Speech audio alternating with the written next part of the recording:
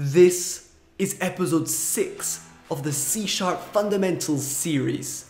I'm Noah, creator of Blackthornprod, and in this last episode, we will take a look at a key programming concept, loops. Now note that this video was written by my brother Liam, who also happens to be a great game programmer, but is presented to you by me due to some technical difficulties with his Mac. With that said, let's get cracking. A loop will simply let us repeat things in a concise and very clean manner. So let's already discuss why we would want to use loops in our code. Well, imagine we wanted to print out a series of numbers, starting at 1 and finishing at 10. What I could do is simply write 10 print lines of code, but this is time consuming and messy. Using a loop will give us the exact same result, but writing much less code and thus making our scripts cleaner and easier to understand and tweak. So there are three loops that we often use in C Sharp. Firstly, we have the while loop. Basically, this loop will continue to run while a certain condition is met. So in our example, we could create a variable called i and set it equal to 0. Note that i is the convention for loops, but you can call this variable anything you like.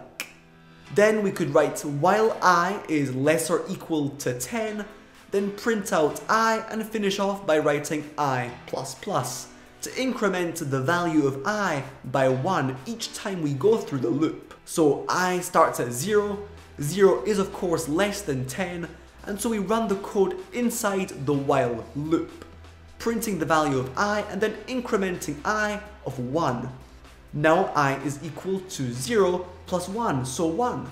1 is of course less than 10, so we run the code in the while loop once again, and this until the condition inside the parentheses, so i less or equal to 10, is no longer met. The next loop is the for loop. The syntax is as follows. For i equals 0, i less or equal to 10, i plus plus. Then let's just print out i. So this loop does three things. It creates a variable, defines a condition in which the loop will run, and also increments the value of i at the end of each iteration.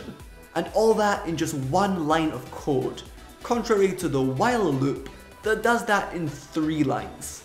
The last loop is the for each loop. This one is used to iterate through an array, so let's say we had an array of integers called numbers, containing the numbers from 1 to 10. I could then just write for each int current number in numbers, and inside the loop, print our current number. So basically, we're going through each item in the numbers array, and each time we go through the loop, our current number int variable will be equal to a number of our array.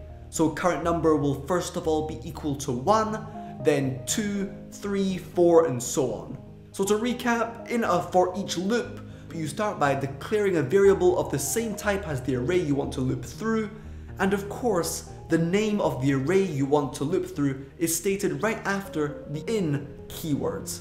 Okay, thanks so much for watching this quick C-sharp video.